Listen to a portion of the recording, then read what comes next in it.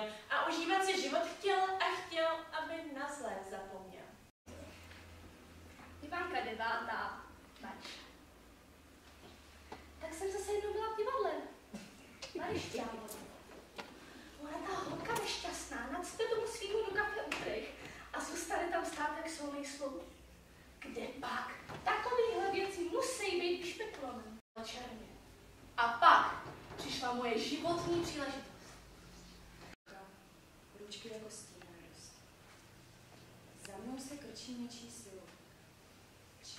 Celá, jen oči. Nesu a pak bude přestávka, tak jestli Šandarová a nachystá se Ivana Němcová. Zná báseň. Všechno dělám z poloviny, ale vlastně na dvakrát. Jedním okem štroviny, druhé oko pošlu spát. Hlasu se znovu probouzet jak kuchař v pohádkách, kde spí se stovky let. Pojď, babátko, posílám ti jezulátko, posílá královna nebe, aby přivedla jim tebe. A naší druhou disciplínou a naší cesty ke sdělení je čtení. A možná si říkáte, co je na čtení tak důležité, jako složité, no, když přece jenom vezmete knížku a čtete. Slova promění v obrazy a pojďme začít první čtenářkou, kterou je Natálie Válková.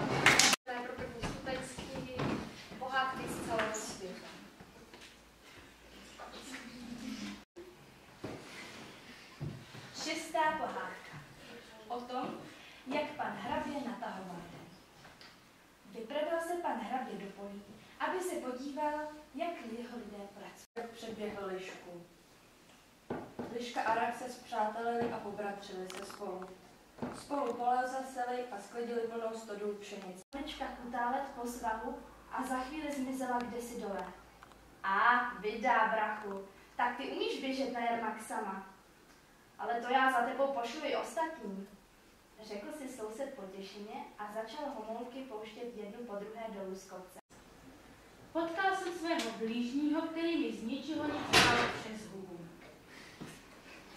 Chtěl jsem mu to vrátit, ale dobro zvítězilo, ovládl jsem se, nastavil jsem mu druhou tvář a řekl, teď bych prosím, prosil ještě semhle.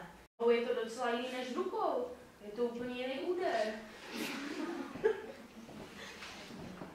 Začít od začátku. Tentokrát výhradně nohou. Jak? Já se otočím, vy kopnete, já se potom znova otočím a vy kopnete ještě jednou. Rozpíjeli šapi, šapito. Já a Lišák jsme čekali opodál. Velice mě těší, že jste se přihlásil. Ctěné jméno. Lev. Představil se krátce kohout.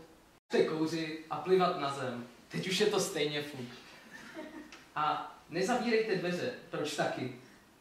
U stolu seděl jednonohý muž s padlými tvářemi. Když jsem se v té noře jakž takž rozesadili, a přiznal se, že je ke všemu ještě alkoholik a že je za zvláštní příplatek ochoten opít se na počkání, což mu ještě víc uškodí. Poslední část dnešního odpoledne je kategorie, která se jmenuje improvizované vyprávění. Holky, máte k tomu něco, co k tomu chcete říct? Slechneme.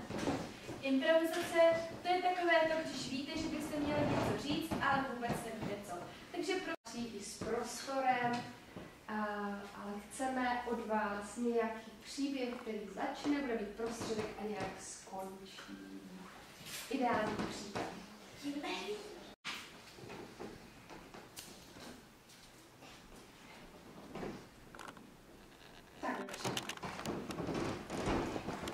To vám bylo tak.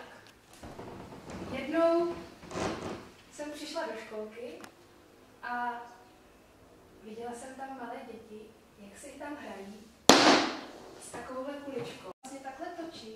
A teď to hází takovýhle stín.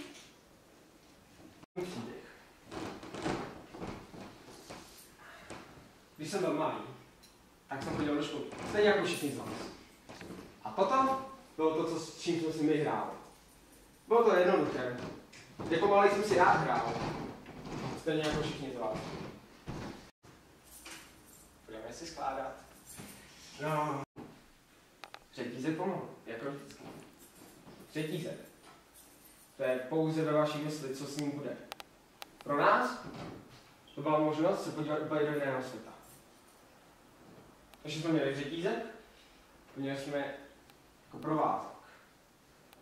No, a když jsme někdy přemýšleli, co se stane, když řetízek rozebereme.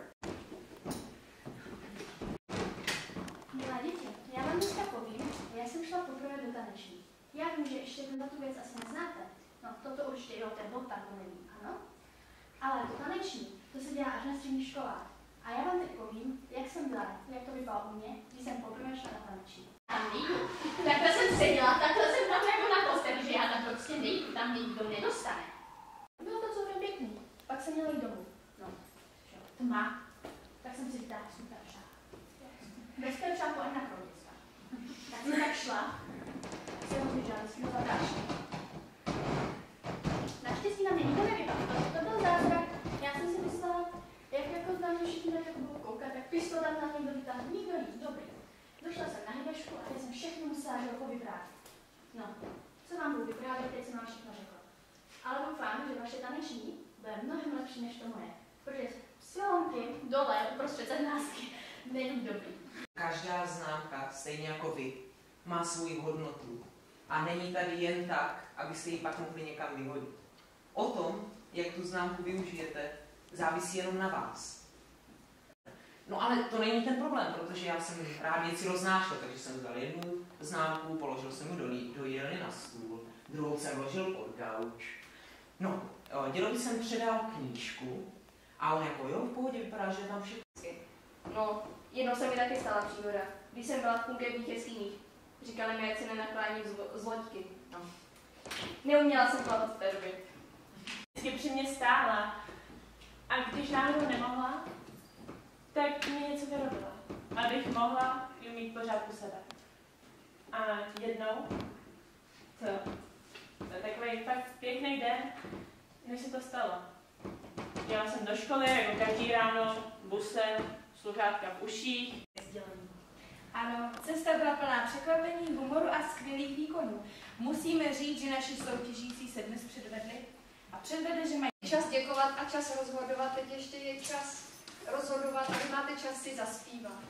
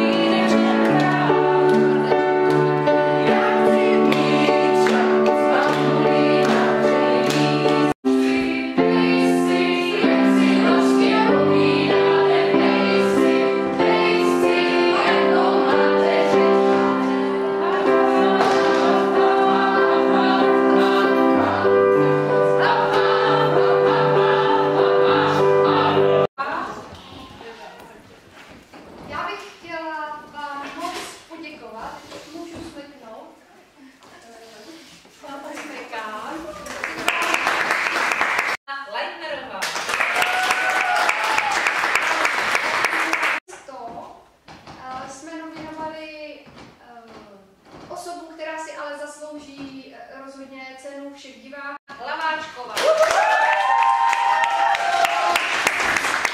Slečny, které jsou myslím všechny ze druhého ročníku. Tam napsaný, že? Ale jo, je asi. Eh, A, promiň. Ano, takže poprosím Michal Rosičovou,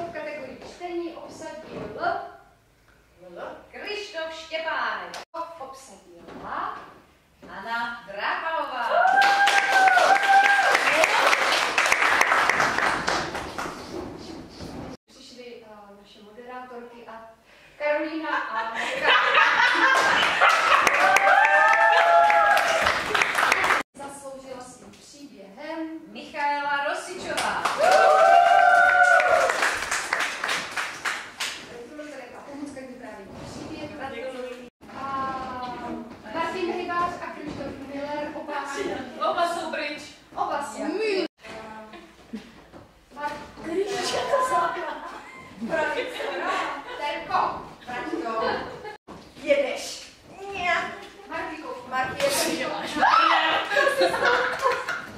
Takže posíláme do